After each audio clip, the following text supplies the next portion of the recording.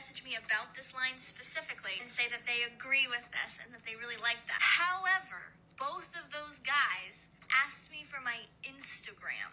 I feel like this dating profile is fine if you're a more modern woman who's willing to pay 50 50 because you're literally leading with your career. And yeah, you put below, you know, that you want the man to lead and such. As someone who wants a traditional relationship where he pays all the bills so you can stay home and take care of the kids, why would he care that you have, you know, a decent job and your own business? Like, you're not taking into consideration what type of woman that the man that you want would want and be attracted to. And that type of man would probably be looking for a woman with more traditional values. Can she cook? Can she clean? What are her hobbies? Is she out partying all the time? What are her values? Does she value family? Is she nurturing? Is she kind? This is a huge reason why so many women struggle to find the type of guy that they want. They advertise the wrong traits about themselves, expecting to find the exact guy they want from that.